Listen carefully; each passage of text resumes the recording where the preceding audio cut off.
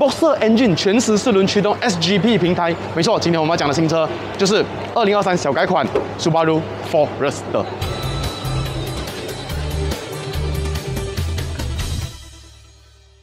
你没有看错，二零二三年小改款的 Subaru Forester 正式来到马来西亚了。这次进从泰国进口的 Forester 呢，总共有四个车型，分别是入门版的 IL iSight。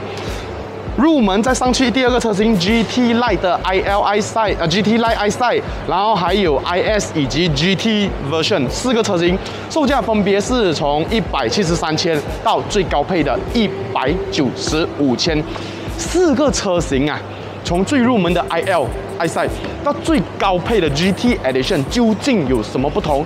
我们这样看好了，我们严格来说呢，它其实只有两个车型，分别是 IL iSight 以及啊、isisi。为什么会有四个车型呢？很简单，IL 入门版，GT Line IL 的 Body Kit 升级版，IS 高配版，GT Edition IS 的 GT Body Kit 升级版，就是这四个差别而已。所以，其实最主要大家就要知道一件事，IL 的配备跟 IS 之间有什么不同吗？首先，大家最关键的一件事就是动力规格的部分。今天 IL IS 还是说 GT 动力规格有什么不同啊？没有，搭载的仍旧是这颗两公升的水平对卧四缸自然进气汽油引擎，输出的马力一百五十六匹，扭力峰值是一百九十六牛米米。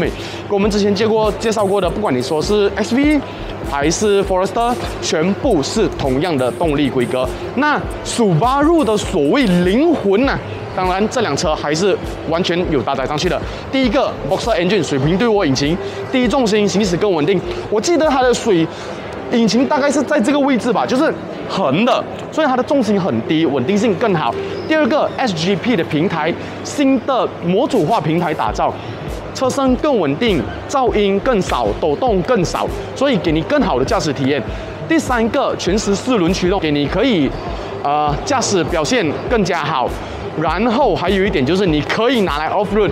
之前我们在泰国已经试过了。最后一个就是它的后悬挂嘛，不管你是 XV 还是 Forester，后悬挂采用的都是 double wishbone。我们刚才讲到有两个车型嘛，严格来说，入门版是 IL，高配版是 IS。差别有什么？呃，你会觉得说，哎，就是都有 i 赛了嘛。现在 i 赛四点零是标配哦，你从最入门一百七十三千就有 i 赛四点零了，最高配的也是有 i 赛四点零。那这两者之间有什么差别吗？它们的配备还会有差吗？有。首先第一点，我们看外形，这个是入门版 IL 的 GT 套件升级版，所以它的基础还是 IL 的配置，但是你可以看到有什么不同。来。啊，这次升级之后少了很多 chrome 哦，之前很多人投诉太多 chrome 了，现在全部给你 delete 掉。你要么就黑色的塑料，要么就钢琴烤漆，所以整个造型再加上头灯的造型，帅气很多，真的帅气很多。首先第一点，你可以看到这里。这两片如果是 IS 或者高配 GT 的话，它是 chrome 的。那入门 IL 呢，跟 IL GT 都是这个黑色塑料。第二点，保杆的左右边这两边的 fin。高配是 chrome 的，那入门是黑色塑料的。再来雾灯，高配有 front LED fog light，那入门版就只有 halogen 的 fog light。再来头灯也是有，高配它的 DRL 是整片张开来，入门版只有上面一条 DRL，里面头灯也有插，高配有 steering responsive 的 headlamp，有这个 auto high beam 的功能，但是入门版没有这些功能，所以即使是 i 赛四点零，安全配备也有差的哦。安全配备差在哪里？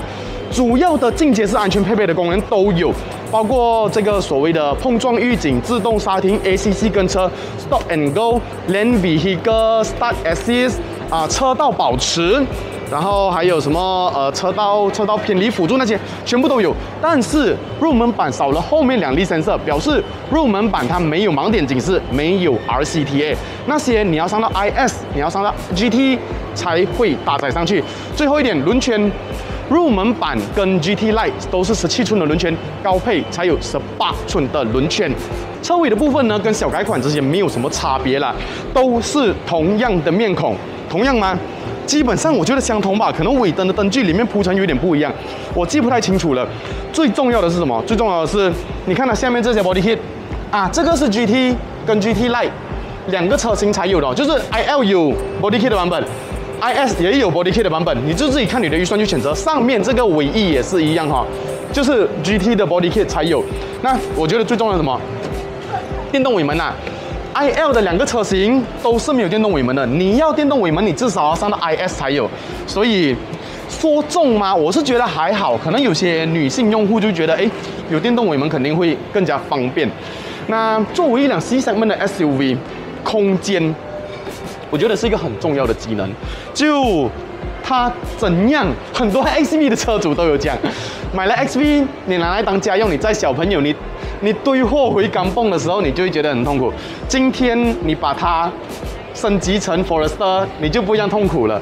然后下面哈，我们整过的这个遮蔽帘也是可以放在下面的。然后下面再打开来，有，它是有备胎的。现在备胎好像真的讨论度很高哦，没有备胎就是就就就就真的是被酸爆了哦，像每辆欧洲车都要被酸爆嘞。然后椅背很讲过了哈，非常轻松，可以做倾倒。Single hit 轻松做 release，你就全躺平，你可以载非常多的东西。Forester 有一个特点，之前我们一直忘记掉的，就是门的开口角度。我觉得没有人可以开到九十度，哎，这是九十度吧？这是九十度哈，看啊，你开口大，你上下车真的方便很多，你知道吗？所以你就轻松。对我觉得一些长辈来说，真的上下车轻松很多。然后 IL 是今天这辆是 IL 最入门，跟 IL 的 GT Lite 都是一样的配置，就是都是皮椅。但是 IS 有不一样吗？有，IS 的皮椅是比较高级一点，比较再滑一点。它这个真的是，其实已经不错了。我觉得 IL 的皮已经不错了，但是 IS 的皮你就会 feel 到，诶，好像更 luxury 一点哦。啊，旁边上面是硬的，下面也是 leather，所以其实它的整个材质运用、打造都不错。空间来看，膝盖很大，头哇。头很高，所以作为 C 7的家用车来说，它真的是会很爽哈，有靠手，有置杯架，中间的隆起其实不算高，因为它车身已经抬高了，所以它即使市区它还是很 OK 的。然后下面有冷气出风口，有两颗二点一 A 的 USB 插槽，是 USB 吗？还是 USB？然后椅背来，我们说过了哈，它有一个小小的皮带在这边，看小皮带，拉一下，拉。它不是两段哦，它可以调很多段哦，它三段到四段左右，所以它有很多个 stop，可以给你调椅背的角度。我跟你拉看看一下，嘿，啊，你看啊，一个 stop，两个 stop，三个 stop，四个 stop，所以它有五段可以做调整，很细微的调整。所以你坐在后面，你就哇，你可以很 relax，你也可以啊，所谓的微办公。对，所以它的配备算是很齐全，空间算是很宽敞的。前面呢，走，我们去前面看。前座驾驶舱的配置啊，感觉应该跟小改款之前差不多吧。驾驶有电动座椅，副驾哦也是电动座椅，这个只是入门版哦，GT Line 的 GT Line 的 IL 版，然后材质。有 soft touch，这边也是 soft touch，旁边 soft touch，下面 leather，所以整体的配置都是算是相当完整的。所以你想，一百七十三千，对，所以价格有点高，但是有 i c 四点零，有 soft touch，有 leather，有皮椅，前面两张电动椅，嗯，难怪。发布之前就已经有人交车了，太过分了，还没有落就已经拿车了，怎么可以这样子？然后驾驶盘一样家族式的设定，然后因为有 ACC 跟车嘛，所以全部都在上面。然后后面有换挡拨片加减档，啊，传统仪表中间彩色资讯幕，现在这个 Player 也是有 Android Auto 有 Apple CarPlay，这些都是标准配置，但是应该还是 Wire 的。然后下面都差不多，有一个差别。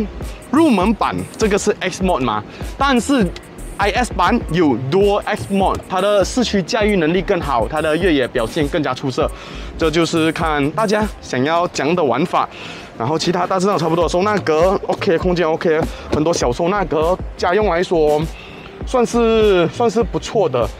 然后大概就这样子吧。Steering Responsive Headlamp 这里没有，因为高配才有。嗯，所以。试驾吗？试驾，不要试了啦，直接买了啦，不用想了啦。我们今天的新车介绍就这边先告一段落，有什么想法欢迎留言给我们知道，也不要 subscribe channel，我们下期再见，拜。